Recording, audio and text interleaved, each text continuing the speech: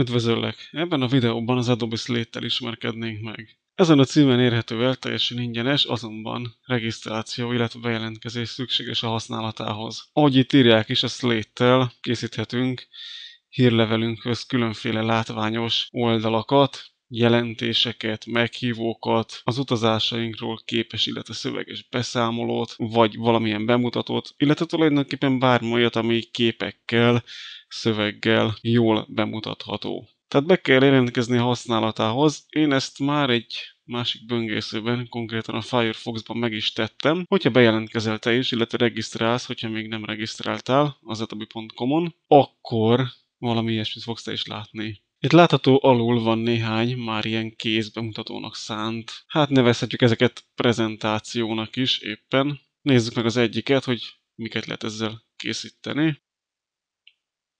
Hát látható, ez valahogy így működik. Hát egészen látványos dolgokat lehet vele létrehozni egyébként. Meglehetősen egyszerűen. Persze nem csak görgetéssel, hanem page down, illetve a page up gombokkal is lehet szabályozni, hogy merre szeretnénk haladni. Tehát ez egészen látványos dolgokat létre lehet hozni. Persze vannak ennél egyszerű megoldások is, amelyeket létrehozhatunk.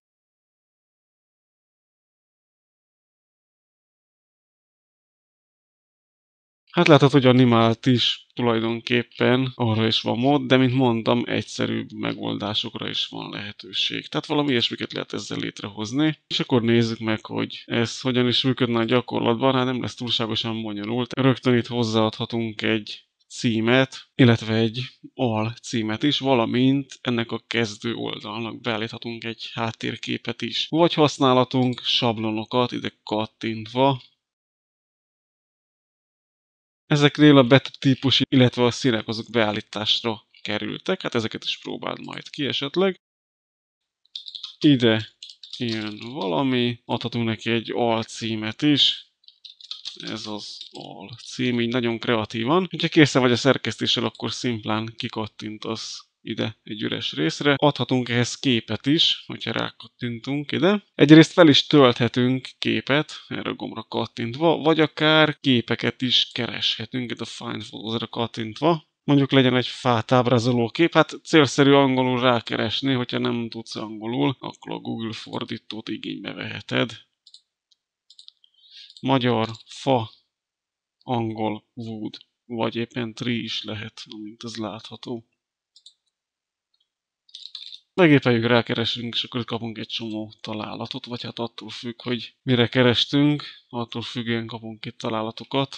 De most éppen a fából van elég sokféle kép, amit látható. Hát mondjuk használjuk fel ezt. Szépen kinyújtja a látható teljes képernyőre, de ez egyébként alkalmazkodik az aktuális képernyő mérethez. Lejjebb tekerünk, akkor itt egy újabb elemet megadhatunk, rögtön meg is jelenik, ez lehet kép, szöveg, link, vagy van ez a kép rács, illetve van az glide show. Először nézzük meg a szöveget. Hát ez ugye egyértelmű, gépelünk valamilyen szöveget, most itt kitöltem egy picit, így, és akkor, hogyha itt kijelölünk egy részletet, akkor megjelennek a szerkesztési lehetőségek, például félkövérre is tehetjük ezt.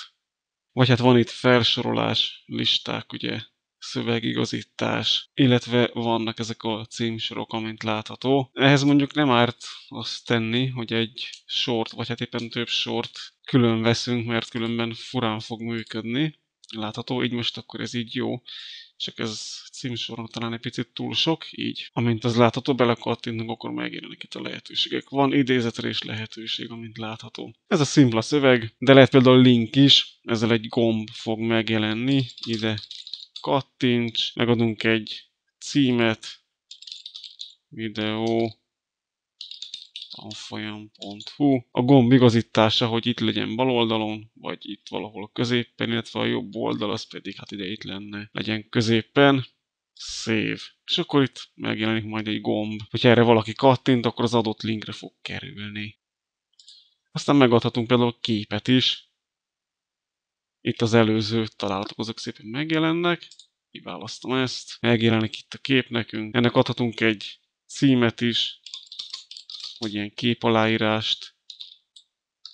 Így Ha készen vagyunk, vagy csak meg szeretnénk nézni, hogy mit alkottunk, akkor ide a preview-ra kattintsunk, és akkor kapunk itt egy előnézetet. Így néznek ez a borító-szerű dolog. Itt, hogyha lefele görgetünk, akkor megjelennek a tartalmak. Itt megjelentek a link is. Most, hogy erre kattintok, akkor görgővel kattintottam, hogy másik lapon nyíljon meg. Akkor látható, hogy ez a weboldal megnyitásra került.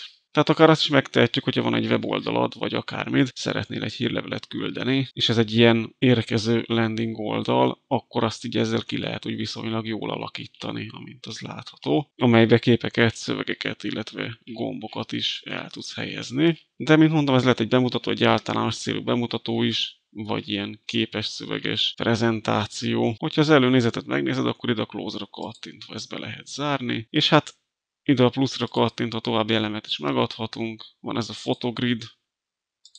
Ha most itt kiválasztok néhány képet, akkor látható, hogy hogyan fogja ezt elrendezni. Itt azért vannak még egyéb lehetőségek. Replace.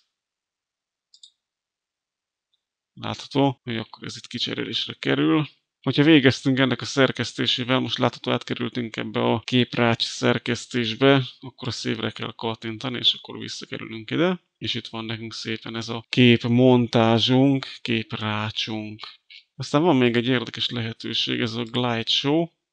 Itt is kellene egy képet kiválasztani, legyen mondjuk ez. Vagy akár még lehetne többet is, amint látható.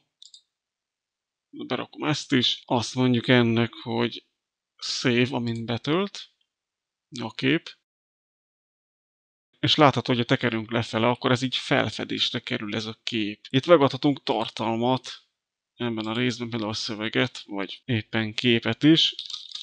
Megadunk valami szöveget, így végeztünk át, talán nem is kell ennyi, mert akkor ez nem lesz olyan szép.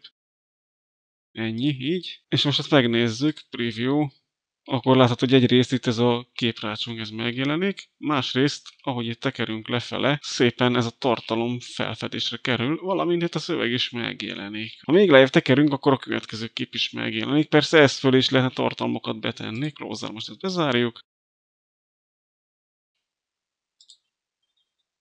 Ha kattintunk egy üres részt, akkor ez a fókuszpont, nézzük csak ezt meg. Hogyha ezen a balegér gombot lenyomjuk és nyomva tartjuk, akkor ezt át lehet mozgatni, és most átmozgatom mondjuk ide a bal oldalára, itt mutatja kisképben, Save, Preview.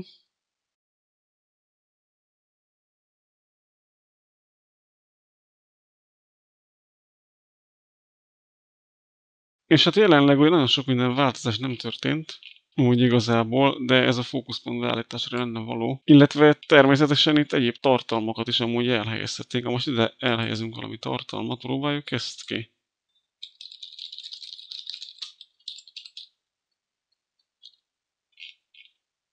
Így, és akkor preview. Tekerünk itt szépen lejjebb, akkor látható, hogy igen, itt ez a tartalom, ez szintén felfedésre került nekünk. Hát valahogy ez nagyjából így működne, ezzel lehet azt úgy gondolom kísérletezni. És hogyha úgy gondolod, hogy készen vagy, akkor ide a megosztásra kéne kattintani. Itt be tudunk néhány dolgot állítani a szerzőt, hogyha ezt persze bekapcsoljuk, akkor ezt megadhatjuk. Aztán, hogy publikus legyen ez, vagy sem, most ez jelenleg publikus, de ezt át lehet állítani, hogy ne legyen publikus. Látható, hogy ki van kapcsolva. Kategóriát meg lehet adni, hát most ez igazából jelentősége nem sok, és a képek készítői, itt látható megadásra kerül, de ezt ki lehet törölni, de ez talán nem olyan szép dolog, hogyha ezt innen kitörlöd, de kitörölheted, és a szívre kéne kattintani, látható eltűnt, és akkor végül publish.